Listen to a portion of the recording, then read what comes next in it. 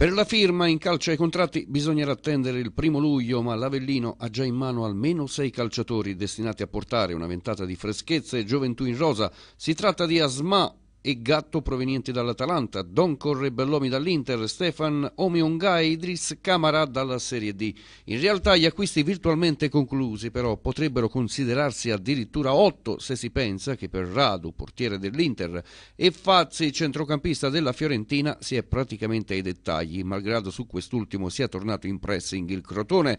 Un buon motivo per tirare un attimo il fiato sul mercato e pensare anche a sfoltire la rosa, iniziando a risolvere i contratti con Tavano e Sbaffo schiaffo. Con il primo si profila un divorzio consensuale. Troppo forte la delusione per la stagione appena archiviata, per sperare di prolungare un rapporto che la scorsa estate aveva fatto sognare i tifosi ad occhi aperti. I tre gol segnati in 22 spezzoni di partite hanno fotografato in maniera impetuosa un flop tanto clamoroso quanto inaspettato che non avrà occasione di riscatto. La volontà manifestata dall'Avellino a Marco Sommella, agente di Tavano, è quella di interrompere il rapporto in maniera cordiale. Una volontà a quanto pare reciproca da qui l'ottimismo che regna tra le parti di poter trovare un'intesa nelle prossime ore per stracciare il secondo anno di contratto in essere con l'ex bomber dell'Empoli.